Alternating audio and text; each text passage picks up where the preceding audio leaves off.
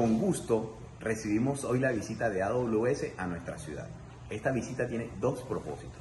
El primero es usar toda la experiencia e infraestructura de AWS para que Barranquilla sea una ciudad más inteligente, apoyando los procesos de transformación digital. El segundo es el, el anuncio, que vamos a unir fuerzas para capacitar a barranquilleros que así lo deseen en cómputo en la nube. Esto va a permitir que estos barranquilleros tengan nuevas oportunidades en el mercado global